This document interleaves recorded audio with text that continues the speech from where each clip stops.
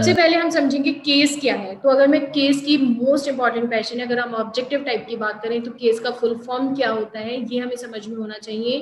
Computer aided software engineering computer aided software engineering CASE तो हमें full form याद करनी है। कंप्यूटर एडेड सॉफ्टवेयर इंजीनियरिंग ये इसका फुल फॉर्म है। इसका क्या मतलब होता है कि it means development and maintenance of software projects with the help of various automated software tools. कुछ ऑटोमेटिक सॉफ्टवेयर टूल्स अवेलेबल है मार्केट में और वो वो क्या करते हैं? किसी भी सॉफ्टवेयर के डेवलपमेंट को या फिर मेंटेनेंस को करने में हेल्प करते हैं। ठीक है तो उनको हम क्या बोलते हैं? सॉफ्टवेयर ऑटोमेटेड टूल्स बोलते हैं। ठीक है, अब केस टूल्स एक्चुअली में होते क्या है? ये क्या होता है? ग्रुप होता है, या फिर सेट में बोल सकती हूँ सॉफ्टवेयर एप्लीकेशन प्रोग्राम्स का, जिनको किस लिए यूज़ किया जाता है? एस डी एक्टिविटीज़ को ऑटोमेटेड करने में, है ना? जो भी हम डिज़ाइनिंग कोडिंग इम्प्लीमेंटेशन टेस्टिंग जो भी कुछ करते हैं, वो ऑटोमेटिकली होने लग जाए वो सारे काम। उसके लिए हम केस टूल्स को यूज़ करते हैं। और केस टूल्स क्या होते हैं? सेट होते हैं किसके लिए? सॉफ्टवेयर एप्लीकेशन प्रोग्राम्स के। ठीक है? अब ये जो केस टूल्स होते हैं, जो प्रोजेक्ट मैनेजर्स हैं एनालिस्ट हैं इंजीनियर्स हैं, किसी भी सॉफ्टवेयर को बनाने के लिए वो केस टूल्स का यूज़ कर सकते हैं। ठीक है? और नंबर ऑफ़ केस टूल्स जो है वो अवेलेबल हैं, जिससे कि हम सॉफ्टवेयर प्रोसेस के अलग अलग फेजेस में उनको यूज़ कर सकते हैं और एक अच्छी खासी स्पीड में हम काम अपना पूरा कर सकते हैं। जब हम केस टूल्स को यूज़ करते हैं तो हमारा जो प्रोजेक्ट डेवलपमेंट का जो काम होता है वो बहुत ज़्यादा फास्ट मोड में होता है, क्योंकि ऑटोमेटेड टूल्स है। मैनुअली हम कोई चीज़ करते हैं तो ज़्यादा टाइम लगता है as compare to automated tools components देख लेते हैं केस टूल्स के। तो केस टूल्स जो होता है, इस तरीके से डिवाइडेड है। सबसे पहले इसमें हम सेंट्रल रिपोजिटरी की बात करेंगे। उसके साथ साथ हम अपर केस टूल्स की बात करेंगे। फिर लोअर केस टूल्स की बात करेंगे। और फिर इंटीग्रेटेड केस टूल्स की बात करेंगे। तो सेंट्रल रिपोजिटरी क्या है? आप इस तरीके से समझो कि एक डेटा ऐसा बना हुआ है। इस डायग्राम के थ्रू आप देख सकते हो। तो ये जो बीच में है this is the call repository तो इसको ही यहाँ पे सेंट्रल रिपोजिटरी बोला जा रहा है। तो आप देख सकते हो कि जितनी भी एक्टिविटीज़ हो रही हैं, वो सभी सेंट्रल रिपोजिटरी से ही इंटरेक्ट कर रहे हैं। क्यों इंटरेक्ट कर रहे हैं? उनको जो भी रिक्वायर्ड डेटा चाहिए, वो यहाँ पे रिपोजिटरी में रखा हुआ है, एक स्टोर में रखा हुआ है। ऐसे स्टोर रूम की तरह समझो। एक स्टोर रूम में रखा हुआ है और जिसको जो भी काम है, वो सारा डेटा उसी रिपोजिटरी से एक्सेस कर लेता है। तो उसको हम बोलते हैं सेंट्रल रिपोजिटरी उसके बाद आते हैं अपर केस टूल्स और लोअर केस टूल्स तो ये जितने भी फेजेस हैं, वो सब यहाँ पर लिखे हुए हैं। सॉफ्टवेयर जब डेवलप होता है तो उसकी पूरी जो लाइफ साइकिल है, वो इन फेजेस से होकर निकलती है। सबसे पहले प्लानिंग होती है एनालिसिस होती है डिज़ाइन होता है। तो ये जो तीन है इनको अपर केस में रखा जाता है, फिर इम्प्लीमेंटेशन टेस्टिंग मेंटेनेंस इनको लोअर केस में रखा जाता है। तो जो टूल्स इन तीनों फेजेस में यूज़ होते हैं, उन्हें अपर केस टूल्स बोलते हैं, जो इन तीनों फेजेस में यूज़ होते हैं टूल्स उनको लोअर केसेस में बोलते हैं। ठीक है? और इंटीग्रेटेड केस टूल्स वो होते हैं, जो कि सारी की सारी स्टेजेस में यूज़ किए जाते हैं। चाहे वो प्लानिंग हो, चाहे एनालिसिस हो, चाहे टेस्टिंग हो, चाहे मेंटेनेंस हो, जब वो सारी की सारी फेजेस में उनको यूज़ किया जाता है, उनको हम इंटीग्रेटेड केस टूल्स कहते हैं। ठीक है? अब ये केस टूल्स जो हमने डिवाइड कर दी, ये किस बेसिस पे किए हैं? ये हमने फंक्शनैलिटी के बेसिस पे किए हैं। वो टूल्स जो हमें सेम सेम फंक्शनैलिटी प्रोवाइड कर रहे हैं, उनको हम एक एक ग्रुप में डाल देते हैं। इसके एडवांटेजेस भी हैं।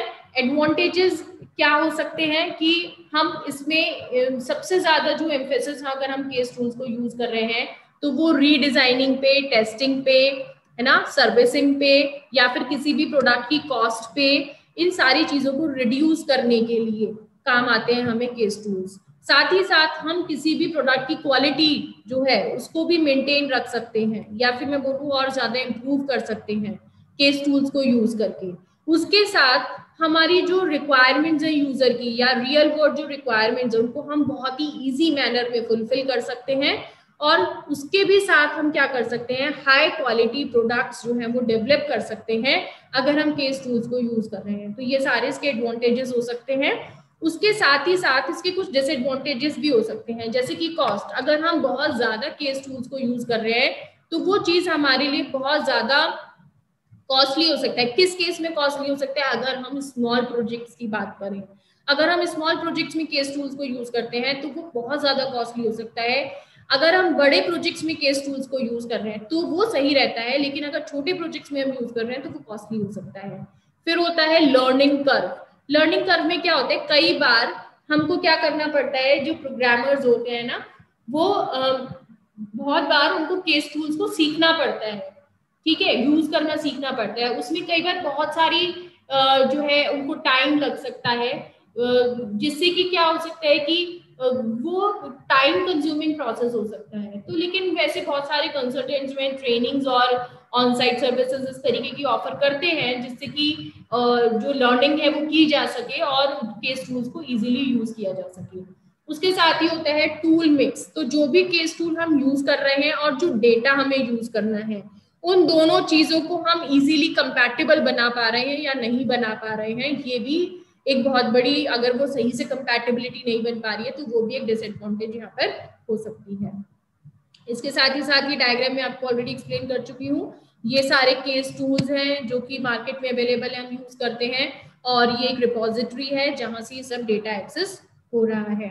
वन बाय वन हम सारे टूल्स को एक बार देखेंगे क्या काम करते हैं। तो अगर मैं डायग्राम टूल समझती हूँ सबसे पहले तो जो डायग्राम टूल्स होते हैं, ये जो हम डायग्राम बनाते हैं ना, जैसे data flow diagram control flow diagram इस तरीके के डायग्राम्स को, चीज़ों को ग्राफिकल फॉर्मेट में दिखाने के लिए हम डायग्राम टूल्स का यूज़ करते हैं। डायग्राम टूल्स को यूज़ करके हम फ्लो चार्ट्स और जो है डेटा फ्लो डायग्राम ये सारी चीज़ें इजीली बना सकते हैं।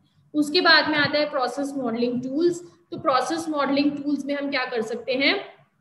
जो भी सॉफ्टवेयर प्रोडक्ट हम बनाने जा रहे हैं उसके जो भी प्रोसेसेस हमें फॉलो करने हैं, उन सारे प्रोसेसेस की मॉडलिंग यहाँ पर की जा सकती है, जिससे कि सॉफ्टवेयर डेवलपमेंट में हेल्प मिल सकती है। उसके बाद आ जाता है project management tool project management tool में जो भी प्रोजेक्ट की प्लानिंग है प्रोजेक्ट की कॉस्ट कैलकुलेट करना है अफोर्ड कैलकुलेट करने हैं प्रोजेक्ट की शेड्यूलिंग करनी है रिसोर्सेज की प्लानिंग करनी है तो ये सारी चीज़ें हम मैनुअली ना करके टूल्स को यूज़ करके करें, जिससे कि हम बहुत इजीली और एक करेक्ट कैलकुलेशन हम कर पाए। ठीक है? प्रोजेक्ट मैनेजमेंट टूल्स जो होते हैं, ये स्टोरिंग और शेयरिंग में भी हेल्प करते हैं प्रोजेक्ट इंफॉर्मेशन के लिए।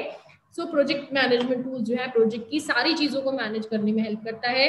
उसके बाद में आ जाता है डॉक्यूमेंटेशन टूल तो जो भी चीज़ें हमने करी हैं, ठीक है? जब भी कोई काम हम कर रहे हैं तो उसके लिए हम डॉक्यूमेंट जनरेट कर रहे हैं। तो डॉक्यूमेंट आपने पहले भी पढ़ा होगा कि डॉक्यूमेंट जो है वो टेक्निकल यूज़र्स के लिए और एंड यूज़र्स के लिए जनरेट किए जाते हैं।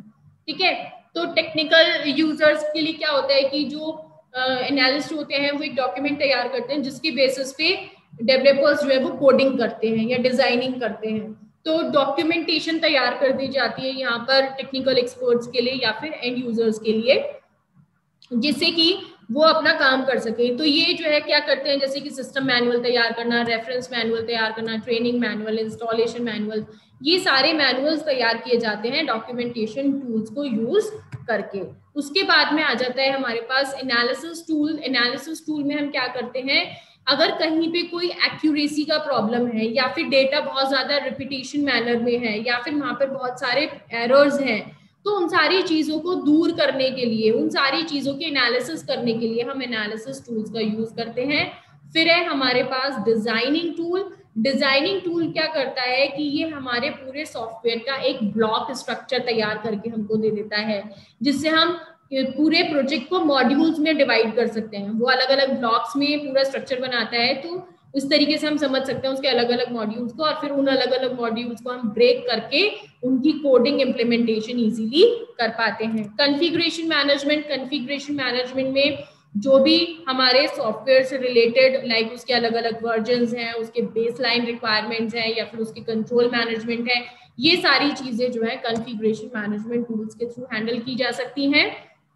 उसके साथ ही साथ आता है change control tools change control tools में क्या होता है कि जब हम अपने प्रोजेक्ट में किसी भी तरीके के चेंजेस करते हैं, चाहे वो हमारे कोडिंग से रिलेटेड चेंजेस हों, चाहे डिज़ाइनिंग से रिलेटेड चेंजेस हों, या फिर फ़ाइल से रिलेटेड चेंजेस हो, किसी भी तरीके के चेंजेस अगर हैं तो उन तरीके के चेंजेस को हैंडल करने के लिए ये टूल हमें काम करते हैं। उसके बाद आता है प्रोग्रामिंग टूल्स तो प्रोग्रामिंग टूल्स क्या करते हैं कि ये हमें प्रोग्रामिंग एनवायरनमेंट प्रोवाइड करते हैं। जैसे कि आईडी एग्ज़ाम्पल है इंटीग्रेटेड डेवलपमेंट एनवायरमेंट इसमें अपनी इनबिल्ड लाइब्रेरीज होती हैं टूल्स होते हैं, जिनको यूज़ करके हम इजीली कोडिंग कर सकते हैं प्रोग्रामिंग कर सकते हैं। उसके साथ आता है प्रोटोटाइपिंग टूल्स तो प्रोटोटाइपिंग टूल्स क्या करते हैं कि आप जो भी चीज़ बनाने जा रहे हो, जो भी यूज़र की रिक्वायरमेंट्स हैं, जो भी टूल्स आपको यूज़ करने हैं, उनकी अकॉर्डिंग ये क्या करते हैं, एक मॉडल तैयार करके दे देता है प्रोटोटाइप तैयार करके दे देता है जिसकी वजह से आप क्या कर पाते हो? आ, अपना जो है प्रोटोटाइप तैयार कर पाते हो। ठीक है?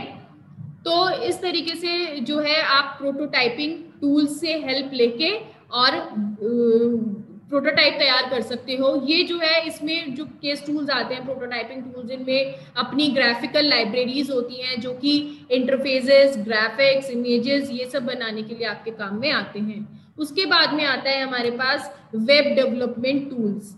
तो वेब डेवलपमेंट टूल्स में क्या होता है? वेब डेवलपमेंट टूल्स में होता है कि जो वेब पेजेस हम बनाते हैं, जो भी हमारी रिक्वायरमेंट्स हैं, जो भी टेक्स्ट हमें डालना है, जो भी स्क्रिप्ट हमें यूज़ करनी है, जो भी ग्राफिक्स हमें डालने हैं, उन सारी चीज़ों के अकॉर्डिंग वेब पेजेस हमको ये बनाकर दे देते हैं, जिनको हम क्या बोलते हैं? वेब डेवलपमेंट टूल्स बोलते हैं। उसके बाद में आते हैं हमारे पास quality assurance tool quality assurance tools क्या होते हैं? जो कि सॉफ्टवेयर की क्वालिटी को पूरा ध्यान में रखें। From initial to last phase कि जब हमने बनाना शुरू करा और तब से लेके क्या हमने कस्टमर को डिलीवर करा, तब तक की हर चीज़ की क्वालिटी हर एट्रीब्यूट की, हर ऑब्जेक्ट की क्वालिटी को मेंटेन करना, उसको ध्यान करना, ये वो काम किसका है? क्वालिटी एश्योरेंस टूल्स का काम है।